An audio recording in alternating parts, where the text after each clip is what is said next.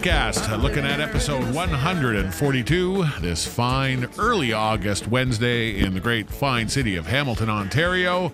And you're hearing us from Boxo Studio under the shadow of the great mountain that rises above this great city in Ontario. We like to call it the blast furnace of original music and original musicians. If it's good to be found, it's good to find it in Hamilton, Ontario. Ryan Cannon, Gary Greenland, coming up? in one more week. It is a pleasure, as always, to have you gentlemen uh, join us in the studio. How are you doing? Good. Good. It's been another busy, crazy week. As yeah, as Gary uh, got his signing down, because we're not getting him a mic, but we were go- we did kick in for for American Sign Language. yeah. I still think we should do the Kickstarter campaign and then For- buy him whatever mic we can afford. With. Yeah, if we get some like some really great German pay, mic, yeah.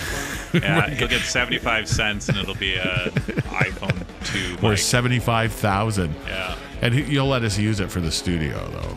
Oh yeah. Of course, you will. I was gonna say. There you Doesn't go. have a mic. Barber Shop Podcast. We are bringing you live original music. And what is live original music? Well, it is music that is live and it is original. It is what music is about. It gets packaged, it gets formed, it gets pressed, it gets used and abused, it gets c- compressed, it gets spread out to the interweb. But to hear music in its most holistic form, performed by someone who actually wrote the song, wrote the music, put their heart and soul into it, and then deliver it on a stage, it is like eating the best dinner that was, you know, cooked by the person who went out and hunted it and made the garden and dug it up like real, alive, original music.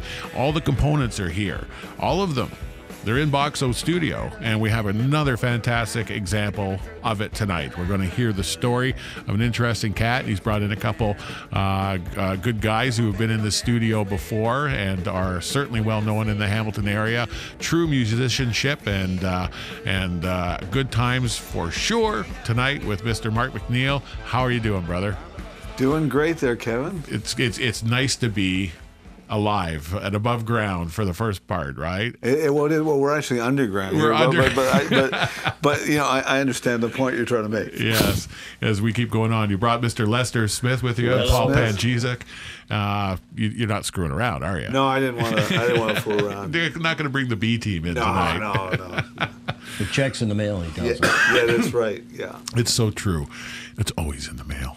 Um, tell me about your uh, story in music. Were you a prodigy child? Were you someone who had to be uh, uh, tied down, or how did music come into your life, and at what age was it?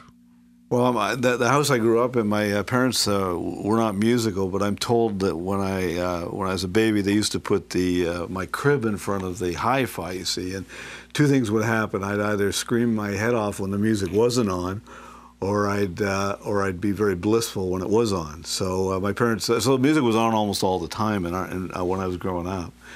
And uh, a little later, I, I, I got to be a bit of a, a, a Beatle fan. And uh, and uh, when I was about eight or nine years old, my uh, convinced my dad to go out and get me a, a Beatles album. And uh, God bless his heart, he uh, he came back and uh, had one. I, I guess there were uh, they were selling for three ninety nine, two ninety nine, one ninety nine. So I got the one ninety nine one. And he brought it home, and I listened to that album for. Uh, about a year and a half, and then suddenly discovered it wasn't the Beatles at all. It was. It uh, was a dollar ninety it, was, it was it was a group called the Bugs uh, with that with that Beatle beat. Yeah. You see, and it, and it was four guys with bangs, all all, all in silhouette. You see. Yeah. But uh, he, he did go out and he uh, after that, and the White Album was at that stage and got me that. And of course, the White Album was the most expensive album the Beatles ever uh, put out. So, uh, and I listened to that album over and over and over again. And um, so a little later, I got into playing the guitar, and uh, I had electric guitar. And there was a guy down the street whose dad worked for a music store, and uh, he he was he was a he was a prodigy. He was an amazing musician. He had uh, from the earliest age he learned uh, piano, and he was an incredible guitar player. He played fingerstyle guitar. And I thought, yeah, this is what I want. I want a sort of Chet Atkins style of playing. And uh, so I spent a lot of time with him, learning from him. And at that time, I was uh, I grew up in Ottawa, and um, where Bruce Cockburn's from. So Bruce Coburn was quite a uh, presence in Ottawa, and uh, so he of course played fingerstyle guitar. So I, I really got in that for a while, and eventually I, I ended up working for his dad's music store, teaching guitar. I was about 17 or 18 years old, and that worked out really well for me. Um, it helped pay my way through university. Yeah. So you were uh, self-taught, or you actually went through the whole lesson things, or you could properly give lessons, or was Well, I um, you know, mostly self-taught, but uh, I had this incredible thing happen to me when I uh, when I started uh, teaching uh, at at uh, my buddy's uh, father's music store, which was the biggest music store in Ottawa, and um, that, that they, they trained us, and and I, one whole summer I got paid. I w- w- went to go through all this uh, music theory, and, and it was fantastic. yeah. Yeah. See, that is uh, quite often it's it's lost. I see that there's a, a bit of a chasm between the self-taught uh, individuals who have a, their own style because that's how they had to kind of learn, and then the people who were uh, really good at, at, at music lessons, and and you can usually pick out the style, but uh, there's been a, a number of the, the people coming in here who have both of those, and quite often it's been secondary where they haven't had an opportunity to learn uh, later in life. Were you were you writing back then too? Was that something? Yeah, a little bit. It, that kind of evolved, and, and it was actually after I moved to Hamilton that I got more into um, songwriting. Um, I came here for a came to Hamilton for a summer job. Summer job. What was Uh, the summer job? Uh, it was at a uh, newspaper called the Hamilton Spectator. I don't know if you're familiar Yeah. with that. Yeah, I remember Uh, that. Yeah, and uh, yeah, I came here for a summer job. It was 33 years ago, Yeah. and uh, longest summer job in the history of uh, journalism, history of summer jobs probably. And um, and I've been here ever since. I you know and I and I love Hamilton, and it was a it was kind of neat for me coming here because both my parents grew up in Hamilton. So I, I grew up in this house in Ottawa where I'd hear all these stories about um, you know, Rocco Perri and Evelyn Dick, and my dad was the biggest Hamilton Tiger Cat fan going. And so when I came to Hamilton, you know, my father had passed away by that point in time. Um, you know, I started seeing these things and running into people that were sort of connected to these uh, um, these people I used to hear about when I was a kid. Right. They were bigger than life. Um, do you find when you write that you take your journalistic influences and and write in that style, or are they completely different worlds? Well, what I've, uh, um, especially in the last uh, four or five years, I've, I've tried to bring together um, um, my mu- my musical background and and uh, uh, with the journalistic background and this passion that I have for uh, local history in Hamilton. And um, so my latest album is entirely songs about about uh, Hamilton history and. Um, and a lot of the, a lot of the songs on the album come from a uh, Flashback. Flashback, yeah, that's right. A lot of songs come from a play called James Street, Yes. whi- which um, which was about Hamilton history, kind of based around James Street. Yeah, critically acclaimed. People really loved it. And when you put your, you, you know, it's quite, it was quite a, a, a, concept. Did you panic at any point? Like, am I going to pull this off and be able to like encapsulate everything I want to about uh, how I can kind of put the historical notes in it? And there's a lot of humor and a lot of, uh, you know, uh, you're, you're you're not underthrowing. You know, you're you're you, you kind of went for the fences with this one. Yeah, there's a bit of a, a black humor in it, um, for sure. And um, uh, see, what happened was just to back it up a little bit. uh, At, at the Spectator, uh, with all stuff that was going on in James Street, I, I suggested that we should do a special section about about James Street, um, getting into the you know the history and the architecture and the characters on, on James Street and the cult, uh, and the uh, um, you know the Italian her- heritage and the train station and, and what all that meant to uh, to James Street, and um, it ended up being a um, uh, kind of a souvenir edition in the, in the paper. And then and uh, Ron Weiss, who owns the Artword Art Bar, I approached him and said, um, you know, this could be a great play. You know, um, um, you should write a play about it. He's a playwright, as you probably know. So he sat down for for uh, several months, a year, and uh, you know wrote this play, uh, largely based on on this uh, newspaper section that I had put together. And then he came back to me at that stage and said, uh, "You should write the music for it." And so uh, I said, "Well, I'd never really done anything like that before, but willing to give it a try." And so what I did is I uh, set my alarm to get up uh, an hour and a half, two hours earlier than I would normally. I get up about six o'clock in the morning. And I said to myself, because as I get older, I find that I'm a little sharper in the morning than I am at night. When I get home uh, at night, I, I'm a bit tired. So, but, but in the morning, I, um, it was a good good time for me. So I would set aside an hour and a half, two hours to write these songs. Um, and um, so after um, uh, two or three months, I had about 12, 12 songs, and um, it all sort of went from there. We, we, we did the play three times uh, or three uh, runs. Uh, first one was uh, three years ago at the Lyric Theater on King Street, Yeah. and then we uh, did uh, two runs at the Artword Art Bar. Uh, just uh, finishing off in May this year, the uh, the third run. Wonderful. Well, you get a whole uh, a whole package of, uh, of of goods in one deal here with Mark McNeil. He is a troubadour. He is a historian. He's a comedian. He is a singer and a songwriter. And he's brought in a couple of real ringers to play some wicked uh, music. You're going to start off with a live one tonight. We got some videos and we've got, of course, some tracks off of uh, Flashbacks, uh, which is a the brand new record out from Mark McNeil. Uh, but we're going to kick off with, uh, as we like to do here at Barbershop Podcast, live music. Anytime, guys. Yeah, this is a song uh, about Evelyn Dick, who, uh, if you don't know, was uh, was probably the most infamous woman in the history of Hamilton. Probably, I think the biggest news story in the history of Hamilton. In 1946, they found her husband's body, or at least a good part, a good part of that body on the side of the uh, mountain. Uh, no arms, no legs, no head. In any event, uh, nobody's quite sure if she's alive or dead. Uh, if she is alive, she'd be 93 years old. And um, anyway, it's called. Evelyn,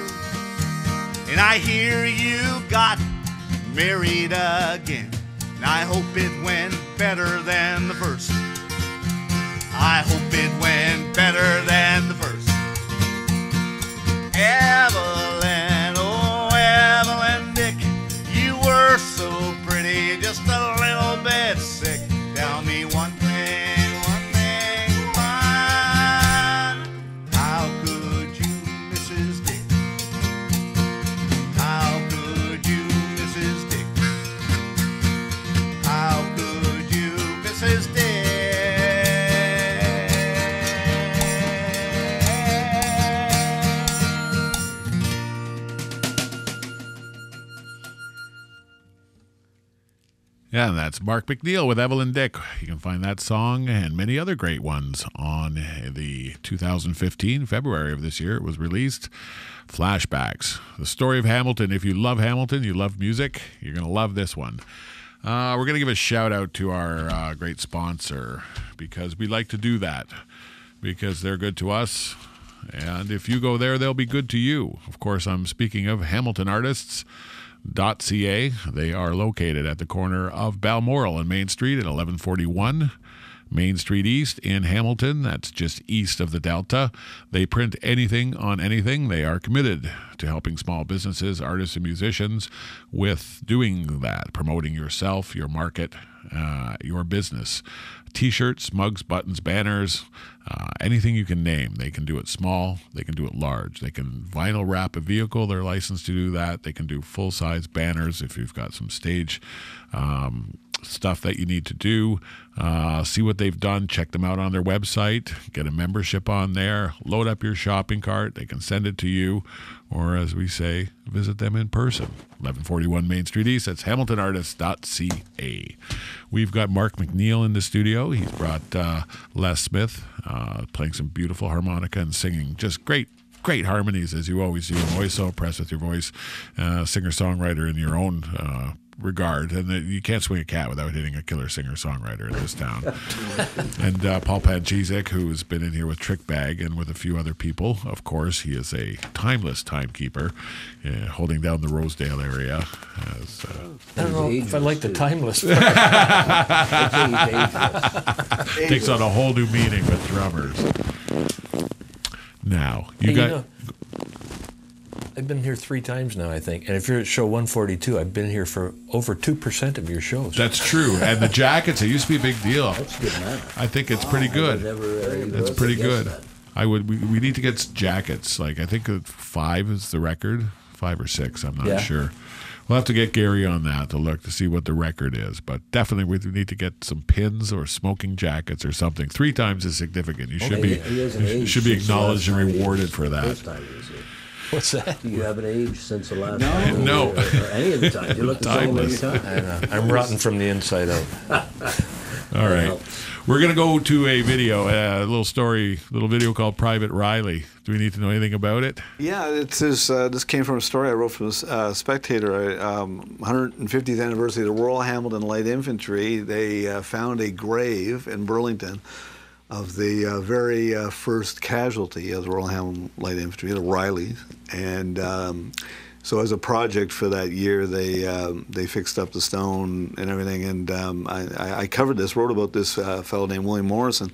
He's only 17 years old, and um, so I spent quite a bit of time trying to find out about this, the, the, him, and then from that I uh, took an interest in the regiment as well, and um, so the idea of uh, I thought uh, this would make a really interesting song, and so um, I, I created this uh, so universal soldier uh, named Private Riley, and so in, in the first verse he's dealing with the uh, Fenian raids, which is how, how this uh, William Morrison died. Second verse is the First World War, and then the third verse is about Dieppe, and Dieppe, of course, was a uh, you know incredible event for Hamilton for the Royal Hamilton Light Infantry. They lost 200, 200 guys in a span of about four or five hours, and um, and then the fourth verse was about uh, Kandahar. So um, anyway, I put this together, and then I, I, I brought it in uh, to, to work at the Spectator, and I said, well, you know, we should do a, a video about this. And uh, you know, to their credit, they, they everybody thought that was a great idea, and so uh, there was a lot of historical footage and and uh, photos that we were able to use to, to do that. And then I thought, well, wouldn't it be interesting to approach the uh, military band, the RHLI 35-piece uh, military band? And um, so they uh, participated in the song, uh, the recording, and also the uh, the video in pulling this uh, together. So it it you know basically the story is trying to trying to say is that you know the, the, these these young guys who get caught up in in, in these things. Uh, caught up in uh, joining a militia uh, aren't all that different than uh, I, I think today than they, they were back in days when they used muskets uh, 150 years ago. Yeah. Great insight. This is what music does. It not only entertains, it educates. And here's a big piece of it right now. Private Riley on barbershoppodcast.com.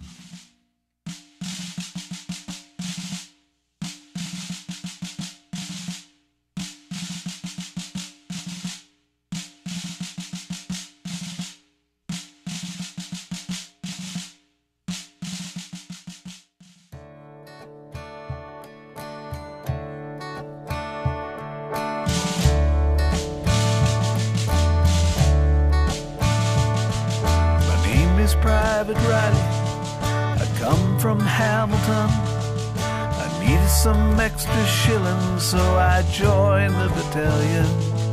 They shipped me on a cattle car with a battered musket gun. We made a stand at Ridgeway against the bloody Fenians. I'm a soldier. I'm a soldier with my pie and uniform. When they called, I was ready, always ready in peace of war.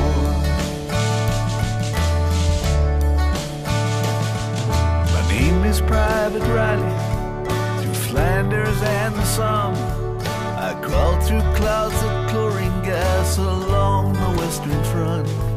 We waited cold and shivering, rising of the sun. Germans on the run. I'm a soldier,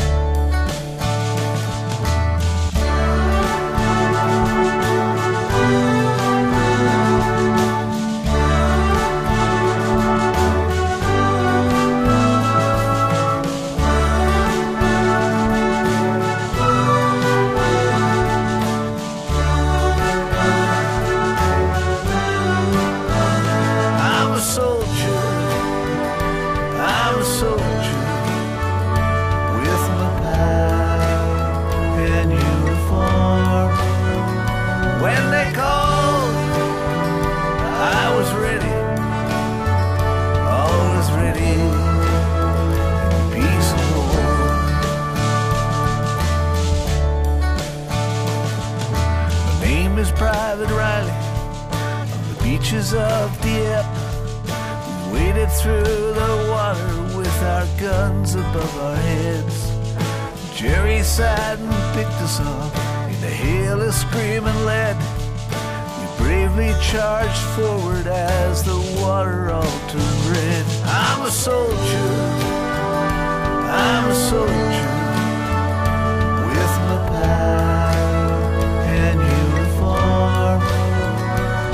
they called, I was ready, always ready.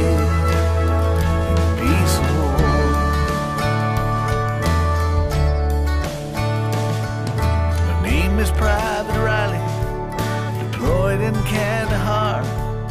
I watch for suicide bombers, forever I'm on guard. Sometimes I do wonder, have I really come that far? Scare kid with a musket riding in a cattle car. I'm a soldier, I'm a soldier.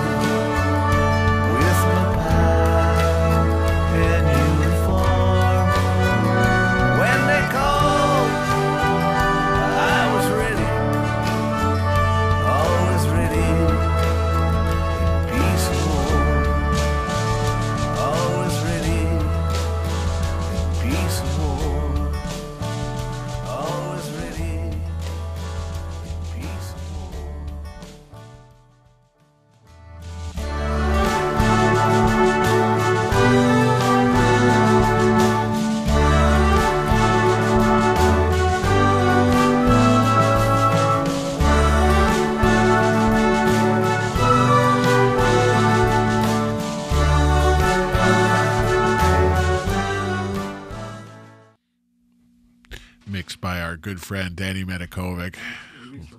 Yeah, he uh, he's a great, great guy. What a great community we have here, like It musical. Uh, great song there, uh, great story, great message. Uh, talk about uh, your your involvement because you you know work as a journalist and you also want to pursue your musical endeavors. Uh, were you able to do that uh, pretty steady from the time you moved into Hamilton, or was this something that you kind of went hard at maybe a bit later?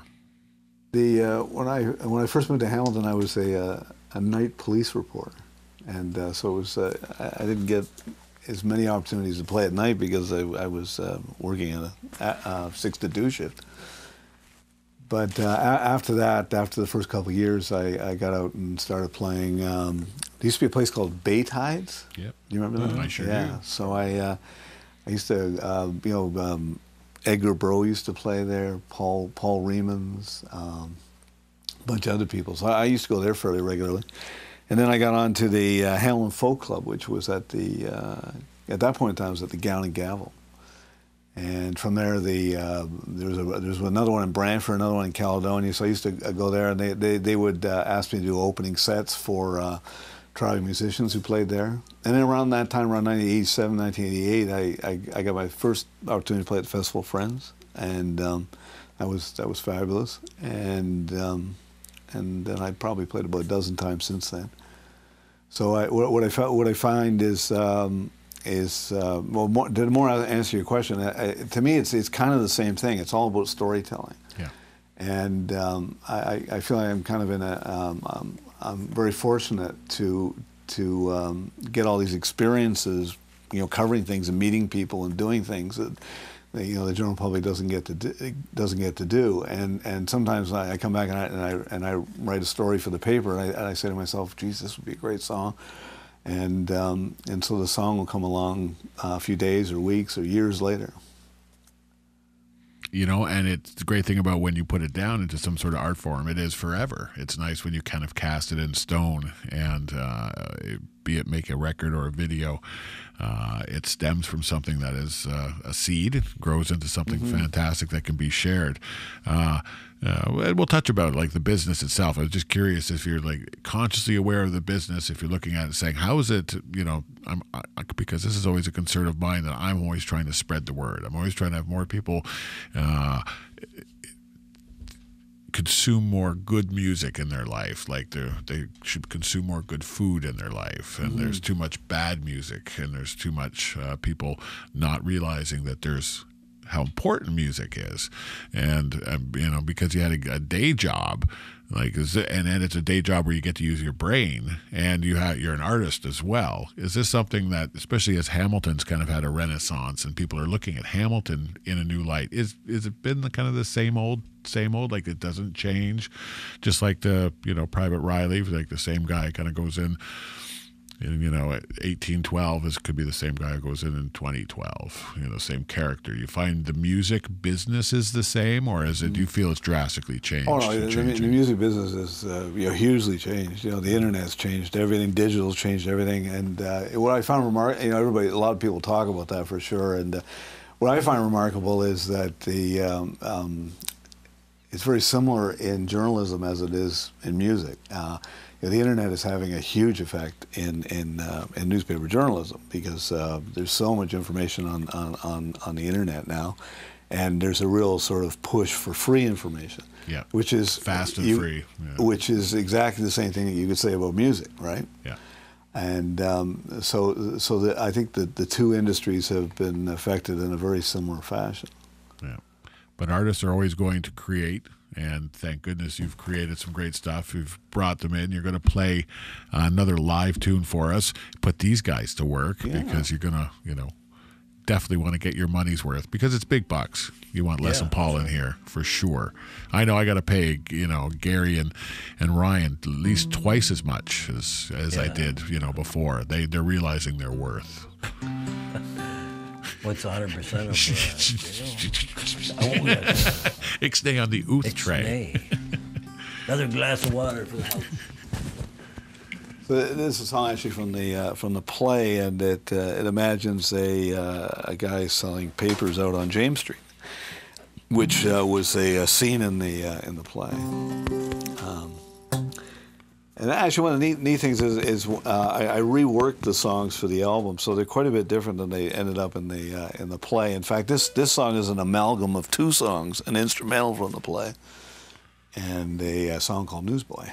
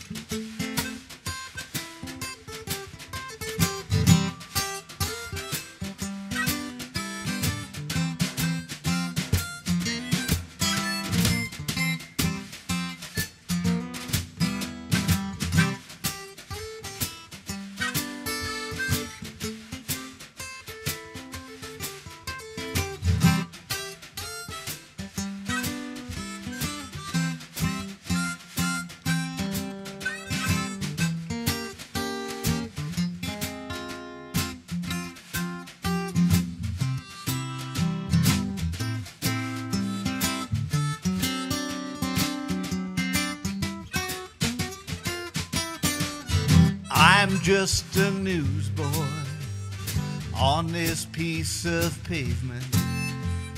Every day goes by just the same. I call out from the corner till my stack is empty. Go home with a pocket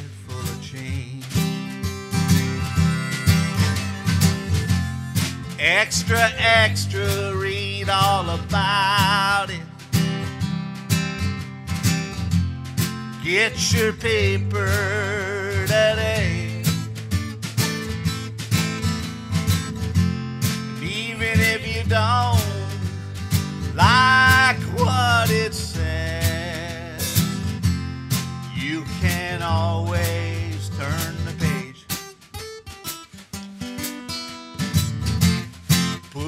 It in your bird cage. Light it in your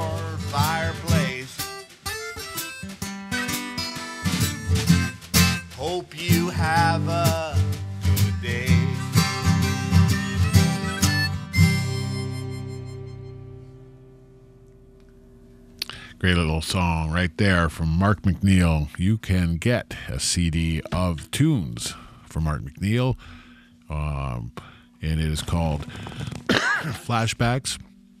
We are hearing some of them in the studio, and I'm sure some of them live. Uh, you can see the difference between a live performance and uh, dressing up with all your finest jewels and uh, doing a nice CD, uh, but nothing really quite compares to uh, live music. You should go check out live music. If you're watching this, there's a good chance you are a fan of live music. If not, we're trying to bring the live music experience to you in your living room. The idea being that perhaps uh, you'll think, wow, this is something uh, I'd like to see, or this person who I'd maybe seen their name here and there on a poster. I really like the way they sound. You go down and you support live music. It is a industry that in some ways is thriving and in other ways is really hurting. Uh, we seem to be fighting over the same 150 fans who go and make that a big part of their life. And it's a bit of a shame with a city with this much talent that you have to call your friends and say, don't do a show on the 27th because I'm doing a show on the 27th. There should be plenty and plenty of people who want to go and see live music, who will invest in it. And I guarantee it'll be well worth your effort. Go check it out in your uh, Hamilton Spectator or your View magazine or any online source. Google that shit, as we like to say. Uh, live music, Hamilton, and, you're sure to find it. Uh, we got Mark McNeil in the studio. Uh, just did another great live number Uh, we're going to play music, which is what we like to do here. And we're going to play one off of the CD. Uh, the first one is got a great name, Trolley Girl. Is there something you want to? Uh, Again, this is uh, this is from the uh, play, and uh, it, it uh, kind of reflects on. Uh, 100 years ago in Hamilton, we had this incredible network of electric-driven uh, uh, trolleys and trains because the city had a big issue of moving people from the uh, moving uh, people into the northern uh, part of the city to uh, work in industry, and uh, you know that was gradually dismantled over time. And uh, you know, history repeats itself. You know, we're back to talking about LRT again, which was essentially what we had 100 years ago. And so this is this kind of talks about a, a love story on um, on a, a trolley, uh, a guy trying to uh, trying to attract the attention of a uh, a woman. I like it already. Trolley Girl, right here, barbershoppodcast.com.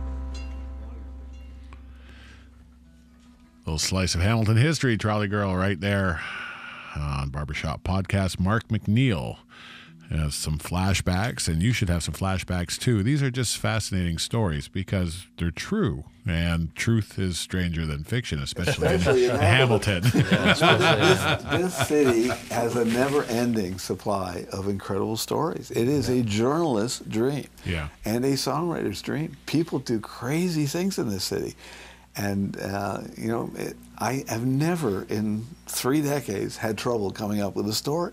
Yeah. we, we, we have a, a- an embarrassing wealth of, of great stories Yeah. in this in this town and an amazing uh, body of musicians and artists and it's been it's being celebrated and discovered and clearly you know this has existed for a period uh, uh, quite a period of time um, I, I feel I'm a bit of a cynic. You know, I feel it's being celebrated uh, to a certain extent. I still see it, it, perhaps being viewed as uh, a more of an economic driver than, in fact, a cultural uh, contribution, which it is.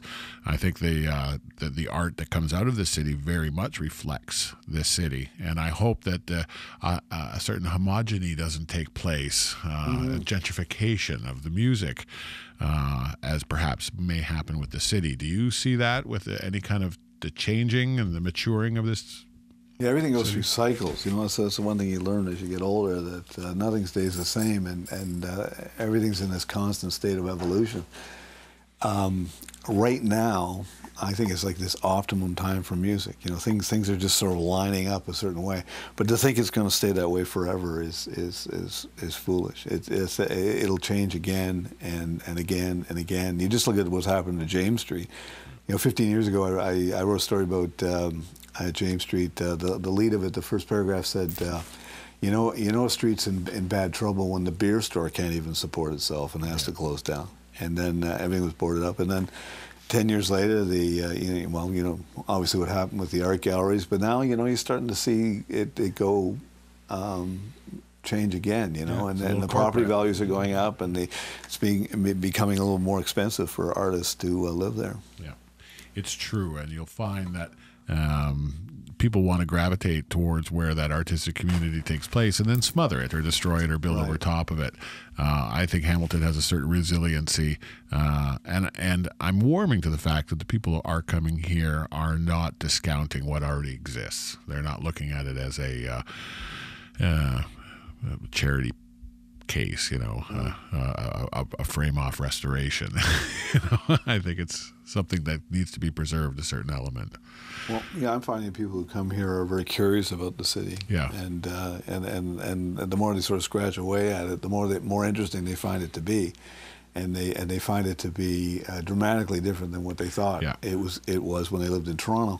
And I always say there's a story of two bridges. You know, there's the bridge, uh, the Skyway, and then there's the, the other bridge you come in on the 403, and and. Uh, you know, it, uh, some people focus in on, on, on the on the view from the Skyway of the, of the industry, and then other people remember Hamilton by you know seeing Cootes Paradise. Right. You know, and and um, It's so true. It's so true. It all comes down to perspective. Yeah, And exactly. uh, and and I'm glad to see people don't come with a hard uh, one uh, uh, preconception that they have to chip away. Quite often, they come with a respect where they understand there's something there's something good here, and it's beautiful. It's such a beautiful city. oh, it is. The, the other strikes me is it's a real thing. Yeah, it's a Uh, real yeah, city. You know, It's got Hamilton's. Hamilton's the real thing. Like, like, to, like to me, Toronto was not the real thing. Where I came from before that, Ottawa is not the real thing. Hamilton is the real thing. I'm sorry, what were you going to say? I was going to say, it's amazing if you go up on the escarpment and look down how green a city Yeah. it is, Yeah. how many trees there are in Yeah. this city. It's so true, and that's and again perspective. It isn't until you're up on that 450 foot plateau and you look down, and I'm constantly amazed too. And I live in this neighborhood, and the trees are 150 years old. All these maples, the trees that lines there. It has been a green area for a long time, and uh, well, let's not talk too much about it. We don't want too much word getting out. It has to be a little bit of a secret for us. But come visit, come spend your time, your money, your love here in Hamilton, Ontario. You Might want to check out some live music. We're going to hear a little bit more of it right now uh, from Mark McNeil. Uh, we are blending together live performances here at Boxo Studio and some choice cuts from his new CD, Flashback Stories of Hamilton, uh, that are true and are awesome. So, whenever you're ready, Mark. A, uh, a blues song about uh, I love uh, love love gone wrong. Never, never happened to me, but I have read about it.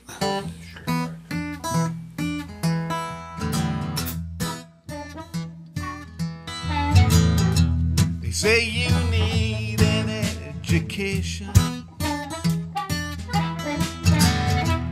Learn about science and history. Take some study about arithmetic.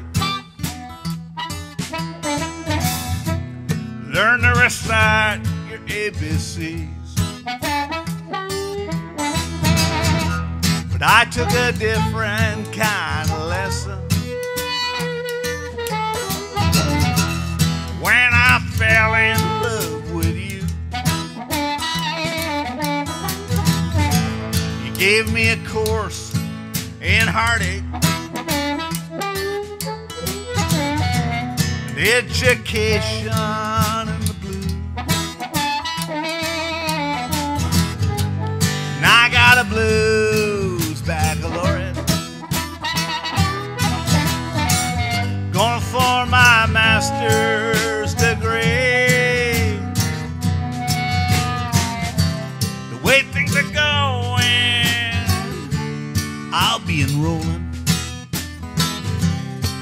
my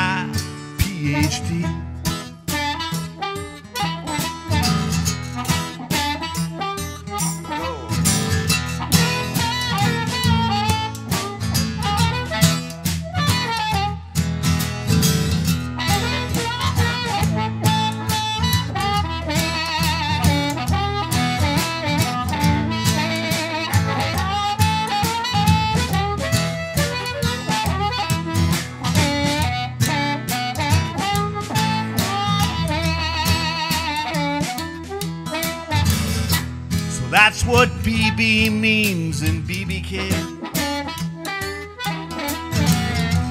Stands for Bachelor of the Blue.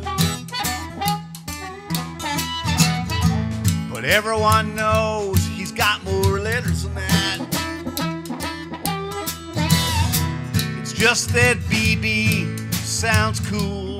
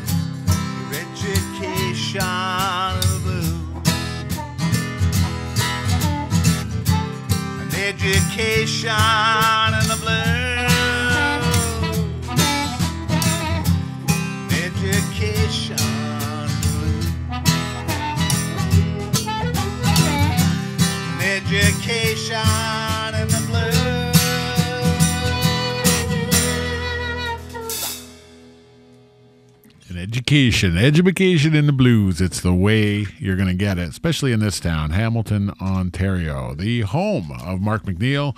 Came in from Ottawa, as I did, you know, Chesterville, actually. Just, uh, you know. I, I actually the Manitic. I just say Ottawa just to make it Yeah, clear, but yeah. uh, Chesterville. That, that's how that, that way, isn't it? South yeah, Ottawa. yeah, exactly. Between Cornwall and Ottawa. Ah, so you're like, a, valley. you're like a valley guy. Yeah, a valley guy Valley, valley guy. back there. So we was born in Grimsby and then got sent out there, and then back to the. Uh, I've been here since 1982, but like you, I imagine, it just you know once you're here for a certain time, it's like you you, embody it. It's You, you can't imagine me anywhere else. no, everyone assumes that I'm born and bred here, and it's like, well, I combine on this. I was born in, in Grimsby, so I almost have like you know the rights, and you know, birth rights from the, the general area. And my mom and dad met here. My my, my dad was working at P and G. My mom was working at the General Hospital. So I came by it honestly, Hamilton, also in my roots, and, and, so and the reason same, why the same here. story as me. Yeah, I sit on the porch and I can look at the apartment on Ben Loma Place where they stayed in, and it's yeah, it's a it's a small world. I used to live three blocks from here too. I'll have you know. I used to live on uh, on uh, Balsam Avenue. There So, you go, Balsam Avenue, one of the great great av- avenues because of course it runs by the football stadium all the way down to the other It's end, true, yeah.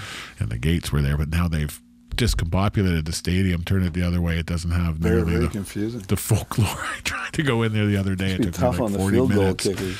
Yeah.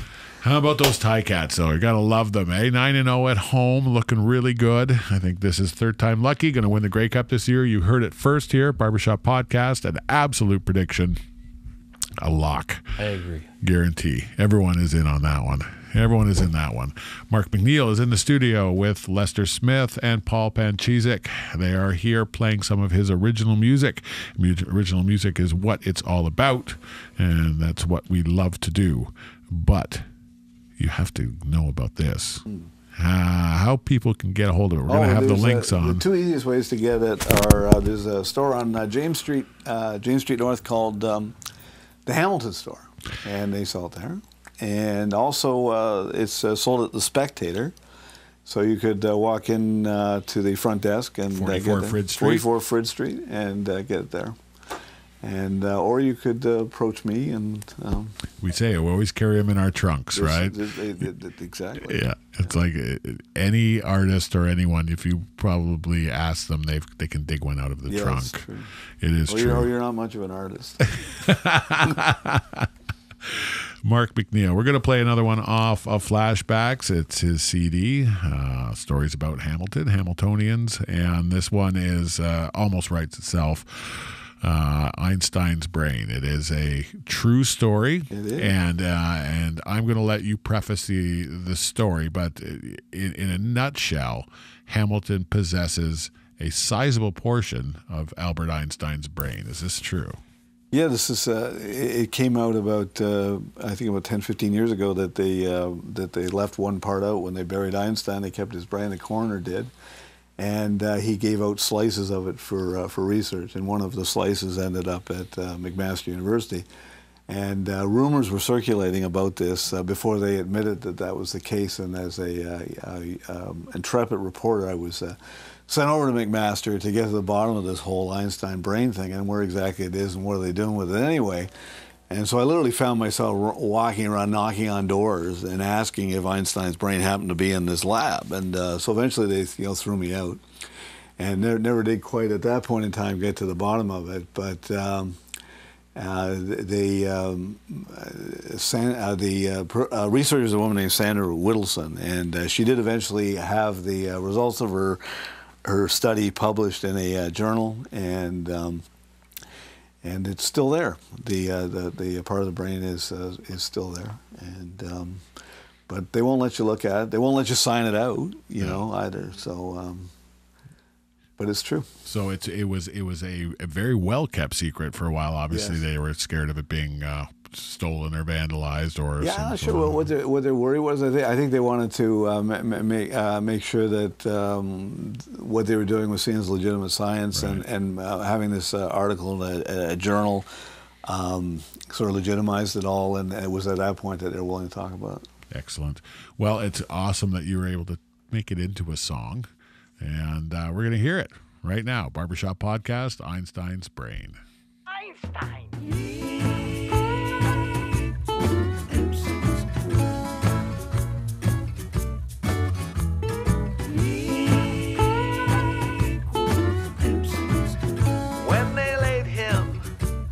ground, they kept his brain just to fool around, try to find out why. He was such a brainy guy. I know it sounds a little weird, but they kept it as a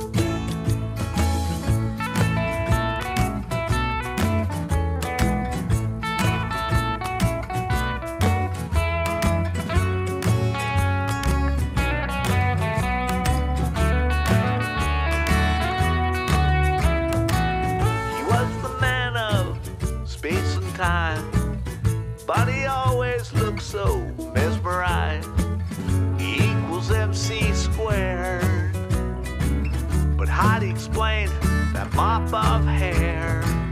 Our mind's a terrible thing to waste. Give it a chance, you'll be amazed. But I think it goes too far to put the best ones in a jar. Einstein,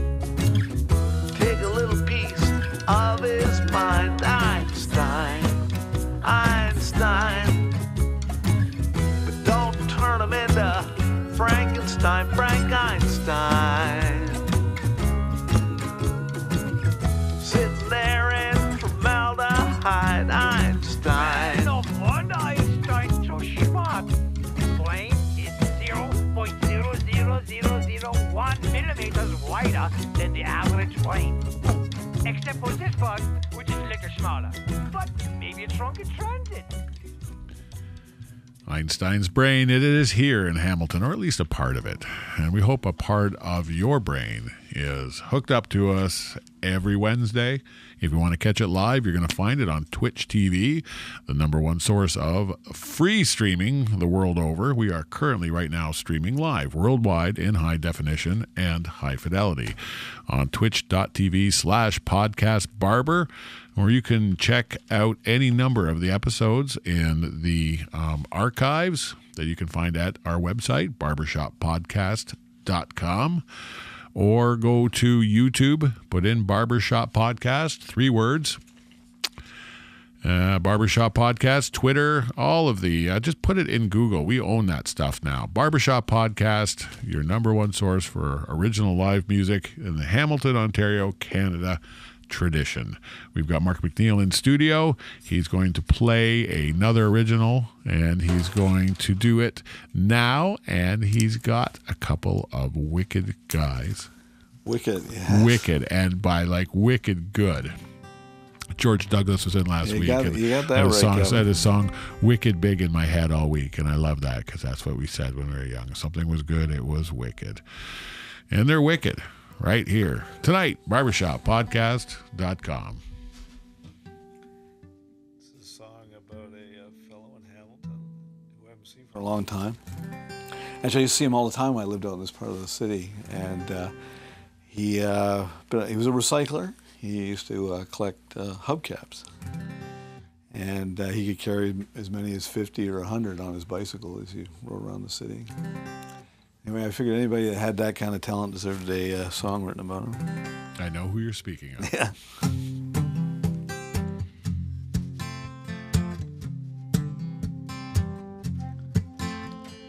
rides his old bicycle all over town. He's loaded down with hubcaps all tied down. A rolling pile of junk, he's flashing in the sun, but he's always got room for another wheel come undone.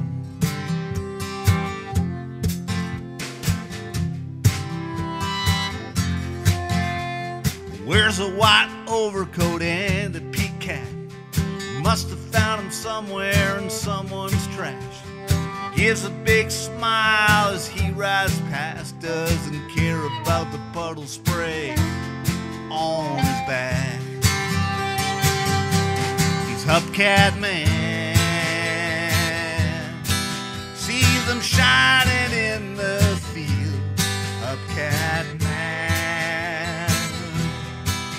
Rediscovering your wheel.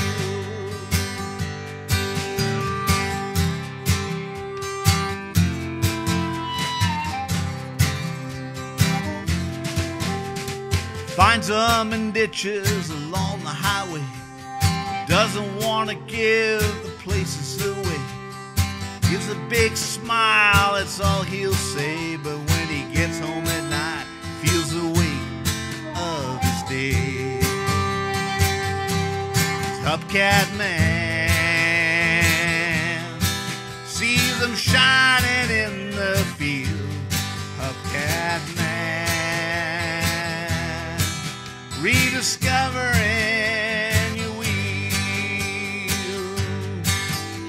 Cause when there's potholes in the pavement, he'll be out there with his bicycle waiting for the bang, pop and slide. Hubcap Man sees them shining in the field. Hubcap Man rediscovering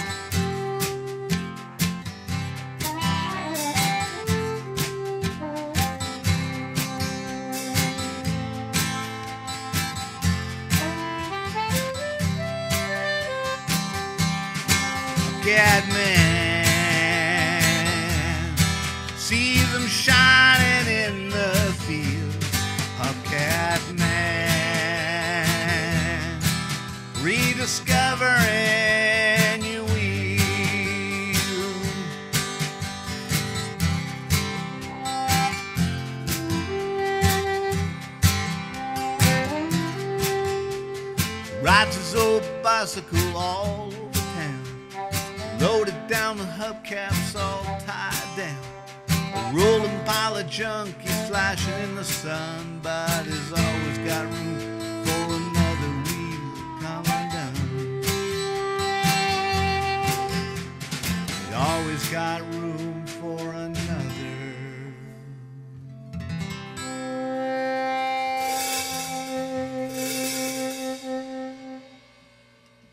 Another story of Hamilton, Ontario. Hubcap man and true story.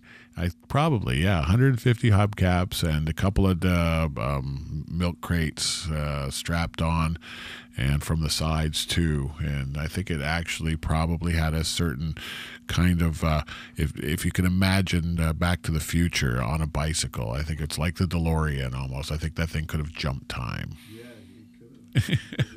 You know, if it was a little, he probably could have got on the Sullivan, Ed Sullivan show with that. I think it, uh, if he was a little uh, earlier on. Yeah, and I, I just wonder how uh, you know he must have been very, very conscious of not leaving it out anywhere or having anyone else take his hubcap. So, depending on where he, you, you couldn't exactly put it in a normal bike rack or somewhere. you know, somewhere. Oh.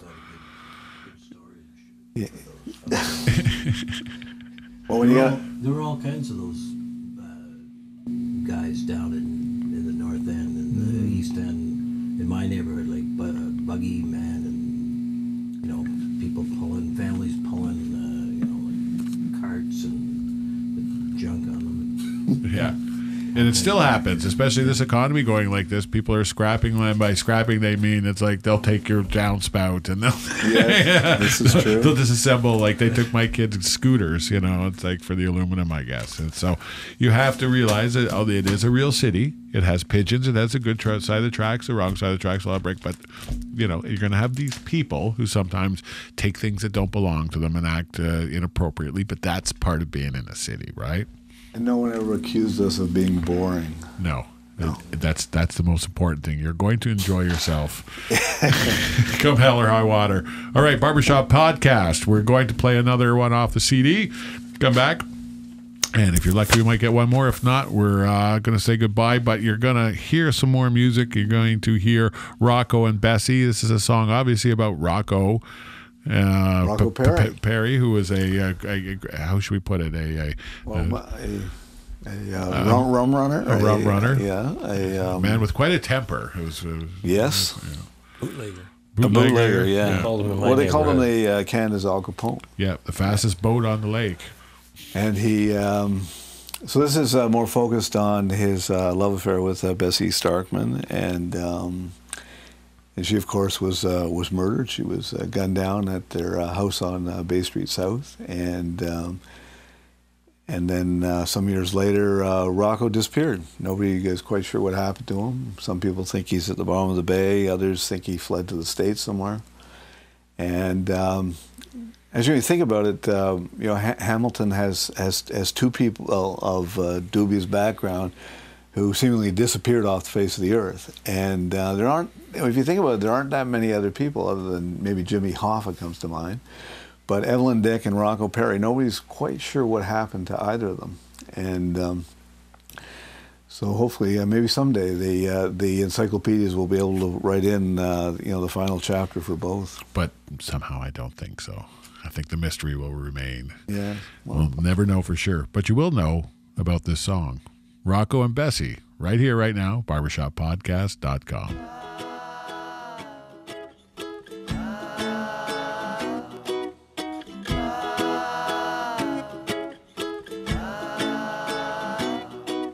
When Rocco and Bessie went out for a stroll, he'd wear a fedora, she a starch collar, shiny shoes, pearls in the afternoon. They were two gangsters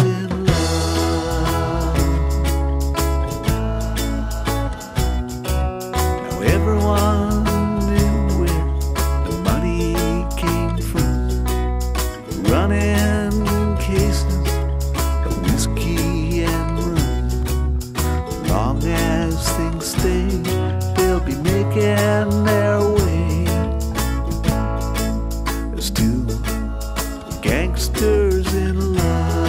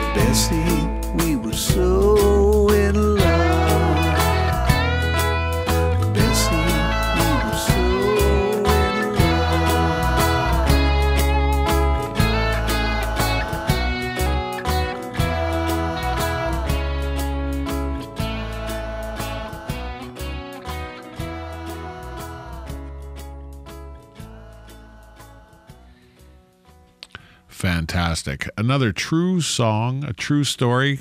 Great record. I highly recommend it if you're at the anywhere near uh, the Hamilton Spectator, 44 Frid Street. You can get a hold of it there or at the Hamilton store, which is right on James Street. James Street North, the uh, History and Heritage uh, Museum. His and her tree. Yeah. And it's it's it's it's also available from Mark McNeil's This is true. trunk. And uh, if you ask nicely, you'll get one. I'm glad I got one here at Barbershop Podcast. Thanks so much for coming in. My Uh, the music was was a lot of fun. fantastic. Yeah, Thank the, you, the, the stories were great. The music was great. Ryan Cannon was great. Gary Greenland was great. I was great. I think we were all great. Do we all feel good? You feel great. Good. We can go forward one more week. Next week, uh, Tia McGraff is coming. She is a songstress.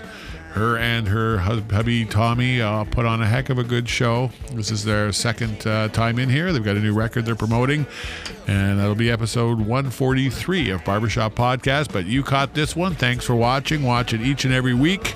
Thanks for coming out.